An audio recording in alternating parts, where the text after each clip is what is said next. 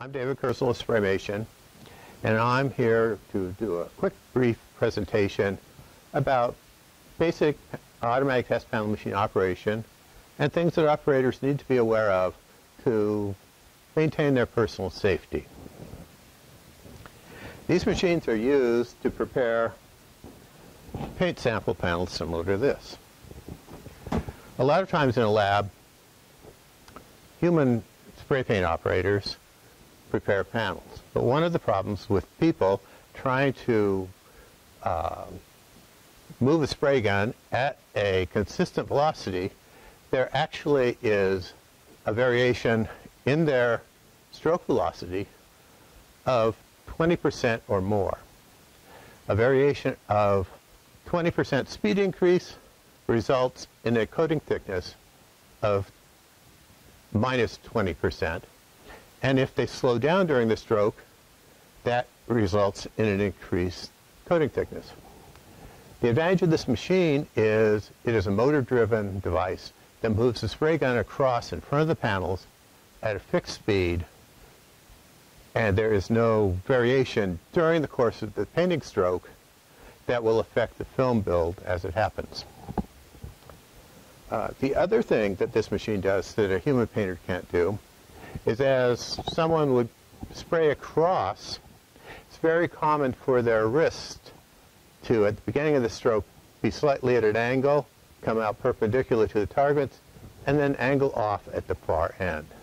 This machine, because it's all metal, it doesn't have any of those wrist movements, so the spray pattern is always perpendicular to the target area. This particular machine is, is located in a large open area, some spray labs have. But many spray labs put a machine like this in a four foot wide spray booth. If this machine were in a four foot wide spray booth, the wall of the booth would be approximately here where my arm is, and there are only a few inches between the side of the uh, gun mounting assembly and the wall of the spray booth. For the installations where the machine is in a narrow spray booth, there is a crushing hazard between the wall of the spray booth and the mounting bars for the spray guns. The same hazard exists on this side of the machine. And so one of the things that we always recommend is that you never reach around the machine from either side to access the panels or anything else. The only place you should be reaching across the machine is in the middle and in the middle when the emergency stop has been pushed in. It's expected that all operators of Spraymation automatic test panel machines will have been trained by their supervisors, and maybe a video like this may help. Uh, the machines are supposed to be located in a restricted area where only people who are um, uh, have been trained in how to operate them have access the people who actually use the machine should rely on their supervisors uh, for advice when they have questions. Every machine is provided with a, a detailed instruction manual that has instructions specific to the machine that you're using that describes all the features, program things. It has diagrams in it for maintenance, assembly drawings, wiring diagrams, all kinds of things will be needed for maintenance. Two copies of this are shipped with the machine, and the actual operation instructions should be available for the operators. We also, for most machines, have a abbreviated set of operator instructions, which is four pages long, and can be kept in the spray machine area. Now, right now, this machine is off, so obviously the first thing you have to do is turn it on. If you walk up to a panel machine, and switch the main power switch from off to on and the machine doesn't start, it may be because the machine is not yet purged. When the machine has electrical power but doesn't have any air pressure connected to the purging system, the group of green LEDs in the pur purge control enclosure will be blinking. This indicates that power is being applied to the machine, but there is no air pressure available to purge the control box. When compressed air is available to the purge system to purge the control box, the lights change from blinking green to solid yellow. The purge process takes approximately seven minutes for enough clean compressed air to circulate through the main control boxes and expel any flammable vapors that could be inside of this electrical control box. After seven minutes of purging, the solid yellow lights turn off and the green lights reappear being continuously on, indicating that the purge cycle is complete and this machine is safe to use in a hazardous location. Now right now this machine is off, so obviously the first thing you have to do is turn it on. The, uh, the display will power up. We'll show you that in a little more detail later on. It indicates the model number and runs some diagnostics and things. And there is a menu system which will be discussed with a close-up of the control box in a few minutes. Whenever the machine is on and you're ready and you're ready to do something here, emergency stop should be pushed in. When the emergency stop is pushed in, there is no power, electrical power going to any of the motors. All the valves that control spraying, that trigger the gun, that control air pressure, and everything else have the power disconnected. So nothing's going to move, nothing is going to suddenly start spraying, nothing is going to happen. So if we wanted to do a quick gun test, we'd use the menu, we'd go down, we would select, whoa, the test functions. We'd say yes. Sorry. Say yes. We'd go down again into a second menu, spray guns, and say yes again. The screen reminds us that emergency stop is pressed in, and all we have to do is press start to get the spray gun to pull, run. Okay. So if we're going to do anything, we still have emergency stop in. We can touch the gun mounting bar, the spray gun. We can do something to the panels. Once we pull out emergency stop, this machine is armed. It's ready to run. Motors have power. Spray guns have power.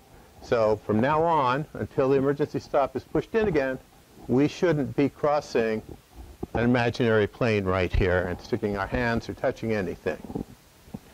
Now we can push start. It turns on the spray gun. To push stop, it turns off the spray gun. We can do it again, off and on as many times as we need. This can be used to fill the paint lines, fill the spray gun with paint. It can be used for flow testing, whatever you need to do with that kind of testing before you do this, the spraying. When you're done with your setup or your flow testing, press emergency stop. Always press emergency stop. Now if you're going to prepare to actually paint some panels, the machine is an emergency stop, so you can put your arms or your body in this area, mount your target panels to the magnibars, and go back and select uh, automatic painting to paint the, the last script that was put into memory. Uh, there is another function that is a recall script, which will be detailed later in the video. The script that you have loaded into the machine remains in memory, remains ready to use, even if you power the machine off, power it back on, or come back the next day. So when you walk up to the machine, you need to verify that the script that's actively in the machine is the one you want to run, or you need to load the one you want to use. We will say yes. We will confirm that the name of it is test stop, which is the demonstration script I'm using today. It asks us if we want to fill the spray gun. This is very similar to the test we just did, uh, and it can be turned on or off. And some machines have this feature and some don't. Uh, we're going to say no. The display is going to tell us we can push start to begin, and it also reminds us that emergency stop is pressed in. So once we've confirmed that everything is ready, we pull out emergency stop. It applies the power to the motors, the spray guns, everything. Anything can move now. we push start to begin the cycle. The green cycle, active light begins to blink. This shows you that the machine is actively painting a cycle. The index resets itself. The horizontal resets itself and does a speed check.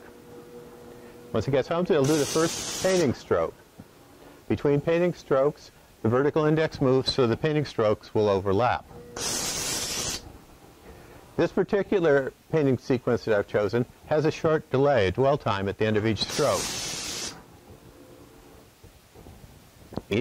This, this, this dwell doesn't have to be there any longer than it takes to move the panels, but in some coatings you want some drying time between the strokes. As an operator, you have to be aware that there are times that the traverse stops moving, like right now, between coats. This script has two coats. We finished the first coat. Now there's some time for flash. Right now, the cycle active is still blinking, so this machine is still armed. Anything can happen. In the detail video of the screen, you'll see how you can watch timers count down. You can know what's happening in the script, where you're at, what stroke you're in, what coach you're in, and a lot of other information that might help you determine what's going on. The machine starts suddenly without any real warning. But the cycle active light has been blinking all the time. You can push stop if you need to stop the, the process for some reason, but it's only stop, so you should not be touching anything if you push stop. If you push stop in the middle of a painting stroke, when you push start again to restart it, you may lose part of that painting stroke. If you push emergency stop when it's in a, a waiting period in a flash or dwell time, the timer keeps running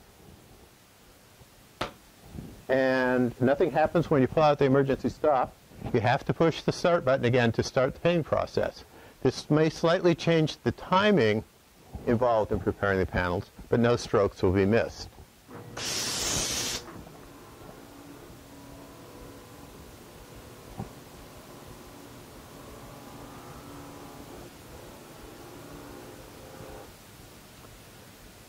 This machine has a feature to clean the spray gun at the end of mm-hmm. operations. You can say yes or no. And you should also notice that the cycle active light has stopped blinking because the operation is complete. We will say no, the cycle's ended, and the machine is ready for the next painting process. We push the emergency stop again before we reach across the machine to pull the panels off so that we're always safe. When you're ready to use the machine, always begin by pushing the emergency stop in to make sure that the machine will not unexpectedly start by moving, spraying, or providing air pressures to the process.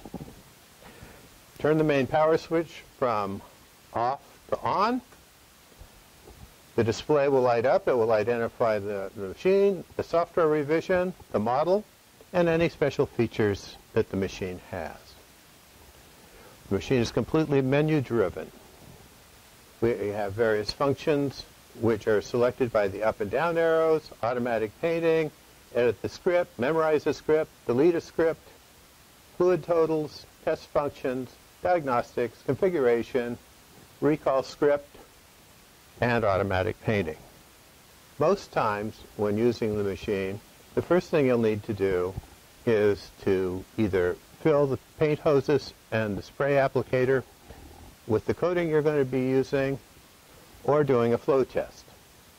This is normally done by go, scanning down and going to test functions, saying yes when you get to the menu, and then within the test functions there are a number of different test functions. This first one being horizontal, vertical, air pressures, flow rates, and spray guns. Spray guns are what we want to test today.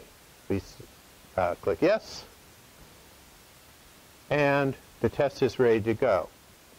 The display tells us that we need to press start to begin, but it also reminds us that emergency stop is active.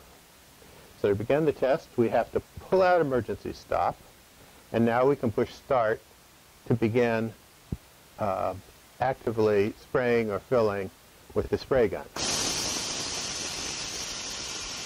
The display shows that the gun is activated.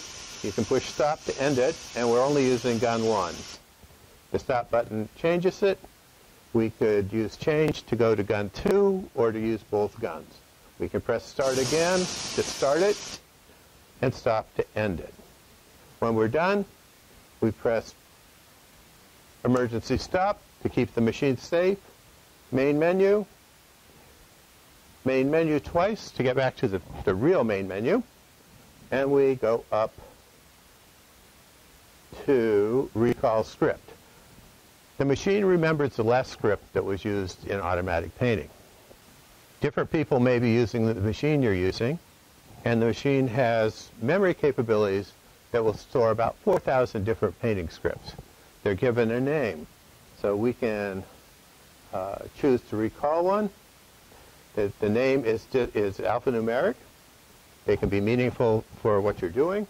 Rotating the knob lets you pick between a bunch of different ones. The one we're going to use today is called test stop. We say yes to recall it. It's done in a fraction of a second.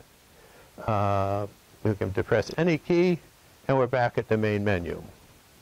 If we're going to run this, then we are going to go down one step to automatic painting. The script is ready to paint. When doing automatic painting, the display has a lot of information to tell us about what's happening in the painting script. First thing to do is press yes to say that we want to do automatic painting. It confirms the script name that is presently loaded. We say yes again. Some machines ask us if we want to fill the spray gun, which is very similar to the test we did previously. We're going to say no to this one today. It tells us that we push the start uh, button to activate the program, and it reminds us that emergency stop is pressed in and active. So we will pull out emergency stop, and we will push start to begin the program. The first time the machine is running in the day, the vertical index needs to do a reset to find the bottom position. And the horizontal axis needs to locate the left side of the machine. Then it does a speed check, moves to the starting point, and does the first painting stroke. There's a dwell time between the strokes in this program. The segment number increments as the various strokes are completed.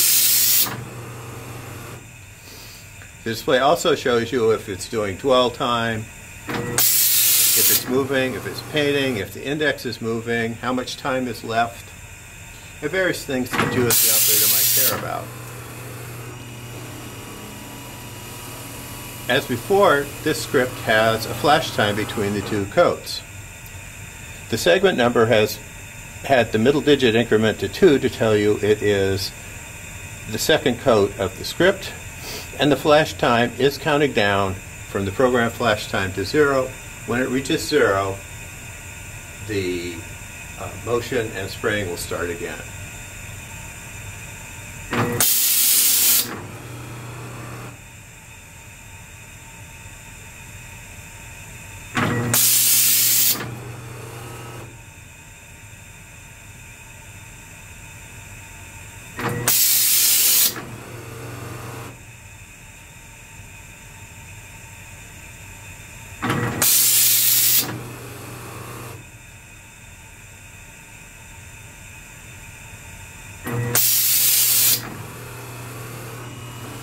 That was the last stroke. The vertical index is returning to its bottom home position.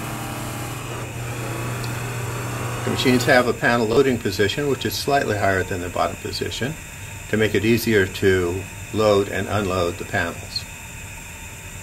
Then ask you if you want to clean the spray guns, which is very similar to the test function.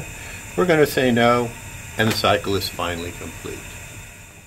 I hope this helps uh, give some new operators a little insight to how to operate the machines, how to be safe while they're operating the machines, and to always use emergency stop, not only on this machine, on all other machines that they're using. Thank you.